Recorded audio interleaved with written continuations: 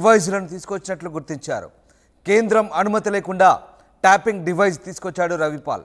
Software company పేరుతో Israel నుంచి tapping డివైజులు దిగుమతి చేసుకున్నట్టు తెలుస్తోంది.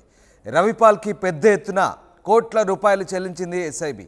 మూడు వందల మీటర్ల పరిధిలో మాట్లాడే మాటలను నేరుగా వినే అధునాతన డివైజ్లను దిగుమతి చేసుకున్నారు రవిపాల్. రేవంత్ రెడ్డి ఇంటి సమీపంలో ఆఫీస్ తీసుకొని డివైస్ ఏర్పాటు చేసినట్టుగా తెలుస్తోంది. రేవంత్ రెడ్డి ఇంట్లో జరిగే ప్రతి విషయాన్ని ఎప్పటికప్పుడు ప్రణీత్ రావు రవిపాల్ విన్నారు. రవిపాల్ని ప్రశ్నించేందుకు పోలీసులు రంగం సిద్ధం చేస్తున్నారు. Real estate pharma software company యజమానుల ఫోన్లను కూడా ప్రణీత్ రావు గ్యాంగ్ ట్యాప్ చేసినట్లు గుర్తించారు. ప్రతిపక్ష నేతలతో టచ్లోకి వెళ్ళి వ్యాపారులను బెదిరించినట్టుగా తెలుస్తోంది. ఆడియో రికార్డింగ్లు వినిపించి డబ్బులు డిమాండ్ చేశారు ప్రణీత్ రావు. ఇక ఆడియోలను వ్యాపారుల ముందు పెట్టి ఎలక్టోరల్ బాండ్స్ కొనిపించినట్లు గుర్తించారు. ఐఏఎస్ ఐపీఎస్ కాంట్రాక్టర్లను కూడా బెదిరించినట్టుగా తెలుస్తోంది. మొత్తం మీద ఫోన్ ట్యాపింగ్ వ్యవహారంలో సంచలన అంశాలు వెలుగులో చూస్తున్నాయి. ఇక ఈ వ్యవహారంలో రవిపాల్ కీలకంగా మారారు. రవిపాల్ ఎస్ఐబికి కన్సల్టెంట్గా వ్యవహరించారు. ఆయన ఇజ్రాయెల్ నుంచి ప్రత్యేక పరికరాలు కొనుగోలు చేసి రేవంత్ రెడ్డి ఇంటి సమీపంలో ఆఫీస్ తీసుకొని డివైస్ ఏర్పాటు చేసి ఫోన్ కాల్ ట్యాప్ చేసినట్టుగా తెలుస్తోంది. దాంతోపాటు ఇక వ్యాపారస్తులను రియల్ ఎస్టేట్ వాళ్ళని కూడా వదిలిపెట్టినట్టుగా సమాచారం. ఎస్ మధు ఫోన్ లైన్లో జాయిన్ అవుతున్నారు. మధు ఫోన్ ట్యాపింగ్ వ్యవహారంలో చాలా సంచలన అంశాలు వెలుగులోకి వస్తున్నాయి. ముఖ్యంగా రవిపాల్ పాత్రకు సంబంధించి చాలా సంచలనాలు నమోదవుతున్నాయి. అసలు ఎవరి రవిపాల్? దీనికి సంబంధించిన అప్డేట్స్ ఏంటి? ఎగ్జాక్ట్లీ ఎవరు రఘుపాల్ అనేటువంటి అంశం ఇప్పుడు చర్చకు సాగిస్తా ఉంది. ఆంధ్రప్రదేశ్కు సంబంధించినటువంటి ఒక సాఫ్ట్వేర్ నిపుణుడిగా ప్రస్తుతం పోలీసులు గుర్తించారు. ఇంకా పూర్తి డీటెయిల్స్ తెలుసుకునే ప్రయత్నం చేస్తున్నారు. ఈ ఫోన్ ట్యాపింగ్ వ్యవహారం అంతా కూడా రవిపాల్ సహకారంతోనే జరిగింది. ఇజ్రాయెల్ నుంచి ఫోన్ ట్యాపింగ్ చేయడానికి ఉపయోగించేటువంటి అత్యాధునికమైనటువంటి పరికరాలను సాఫ్ట్వేర్ కోసం అనేటువంటి పేరుతో ఆయన ద్వారా దిగుమతి చేసుకున్నట్టుగా తెలుస్తా ఉంది.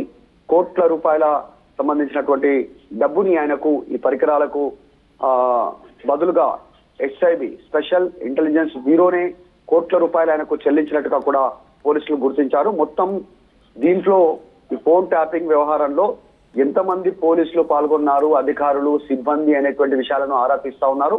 వారందరినీ విచారించి మరిన్ని వివరాలు తెలుసుకునే ప్రయత్నం చేస్తా ఉన్నారు.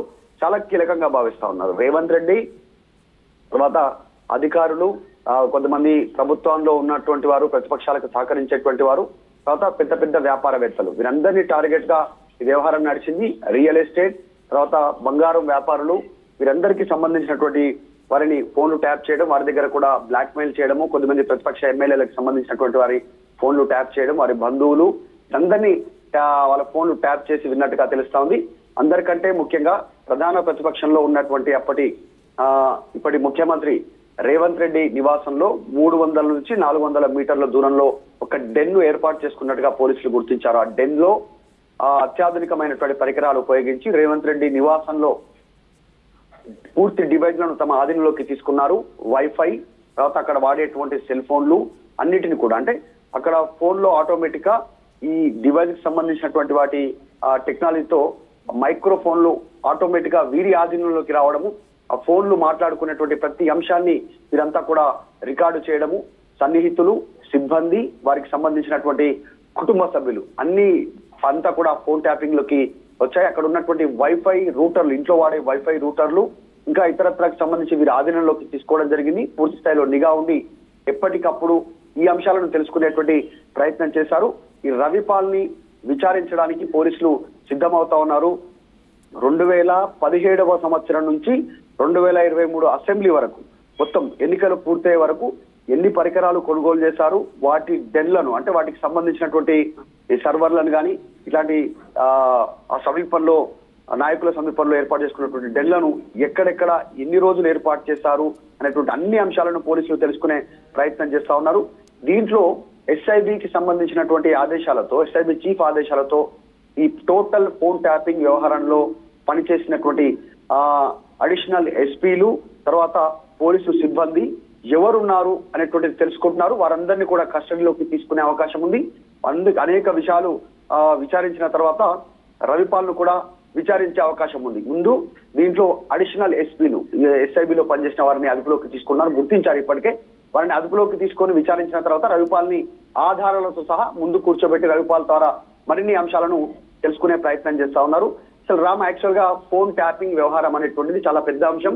కేంద్ర ప్రభుత్వ అనుమతితో టెర్రరిస్టులు నక్సలైట్లు యాంటీ నేషనలిస్టులు ఆ దేశ వ్యతిరేక కార్యకలాపాలకు పాల్పడుతున్నటువంటి వారి ఫోన్లను మాత్రమే ట్యాప్ చేయాలి. అది కూడా కేంద్ర అనుమతి ఉండాలి. కేంద్ర అనుమతి లేకుండా ఈ వ్యవహారం అంతా కూడా కేవలం ప్రతిపక్షాలకు సంబంధించినటువంటి నాయకులను వ్యాపారవేత్తలను సినీ సెలబ్రిటీస్ను సొసైటీలో పెద్ద పెద్ద వ్యక్తులుగా చలామణి అయినటువంటి వారి ఫోన్లను మాత్రమే ట్యాప్ చేసినట్టుగా తెలుస్తా ఉంది. అత్యంత కీలకంగా దీంట్లో ముఖ్యంగా ఇప్పుడున్న ముఖ్యమంత్రి గతంలో ప్రతిపక్షంలో ఉన్నప్పుడు రేవంత్ రెడ్డి టార్గెట్ గానే చాలా పెద్ద ఎత్తున ఫోన్ ట్యాపింగ్ జరిగినట్టుగా తెలుస్తోంది. అందులో భాగంగానే రేవంత్ రెడ్డి ఓటుకు నోటు కేసులో ఆయన రెడ్ హ్యాండెడ్గా పట్టుకోవడానికి ఈ ఫోన్ ట్యాపింగ్ వ్యవహారమే కారణము. ఎన్ని గంటలకు వస్తా ఉన్నారు ఎక్కడ కలుసుకుంటున్నారు డబ్బు ఓవర్ చేస్తా ఉన్నారు అన్ని అంశాలు ఆ టైంలో ఫోన్ ట్యాపింగ్ ద్వారానే రేవంత్ రెడ్డిని పట్టుకోవడం జరిగింది అనేటువంటిది కూడా పోలీసులు ఇప్పటికే గుర్తించడం జరిగింది. సో రవిపాల్ తోనే పూర్తి స్థాయిలో ఆపరేషన్ చేసినట్టుగా తెలుస్తా ఉంది. ఇజ్రాయెల్ నుంచి ఈ డివైజులు కొనుగోలు చేయడానికి సాఫ్ట్వేర్కి సంబంధించినటువంటి అంశంగా ఆయన ద్వారా కొనుగోలు చేశారు. అంతర్జాతీయకు సంబంధించినటువంటి ఈ సైబర్ సెక్యూరిటీకి సంబంధించినటువంటి డివైజ్లు ఇవన్నీ కూడా. సో అక్రమంగా ఇజ్రాయెల్ నుంచి ఇక్కడికి దిగుమతి చేసుకున్నటువంటి పరిస్థితి ఉంది. వాటన్నిటిని కూడా గుర్తించేటువంటి పనిలో ప్రస్తుతం పోలీసులు ఉన్నారు రైట్ అలాగే Madhu real estate pharma software company యజమానుల ఫోన్లను కూడా ఈ గ్యాంగ్ ట్యాప్ చేసినట్టుగా తెలుస్తుంది. ఇక ప్రతిపక్ష నేతలతో టచ్లోకి వెళ్ళిన వ్యాపారులకు కూడా ఆ ఆడియో రికార్డింగ్లు వినిపించి మరి బెదిరించి డబ్బులు డిమాండ్ చేసినట్టుగా కూడా తెలుస్తుంది.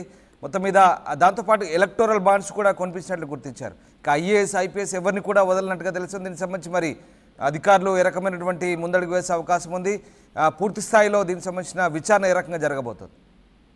ఎగ్జాక్ట్లీ నిజంగానే. ఫస్ట్ మొదట వీరు ఎప్పుడైతే ఫోన్ ట్యాపింగ్ వ్యవహారంలో భాగంగా రేవంత్ రెడ్డిని అప్పుడు ఉన్నటువంటి స్టీఫెన్ సన్ ఎవరైతే ఎమ్మెల్యేగా ఉన్నారో నామినేటెడ్ ఎమ్మెల్యే అక్కడ ఆయనకు సంబంధించినటువంటి కొనుగోలు వ్యవహారంలో రేవంత్ రెడ్డిని ఓటుకు విషయంలో ఈ ఫోన్ ట్యాపింగ్ ద్వారానే పట్టుకొని తర్వాత ఇది సక్సెస్గా వాళ్ళు భావించారు. ఈ టీం అంతా కూడా. సో ఆ సక్సెస్ని దృష్టిలో పెట్టుకొని ఇక మిగతాకు సంబంధించినటువంటి అన్ని అంశాలపైన ప్రతిపక్ష నాయకులపైన వ్యాపారవేత్తలపైన ఫార్మా ఇండస్ట్రీకి సంబంధించి రియల్ ఎస్టేట్ టైకూన్లకు సంబంధించినటువంటి వాళ్ళందరినీ కూడా ఫోన్ ట్యాపింగ్ చేశారు.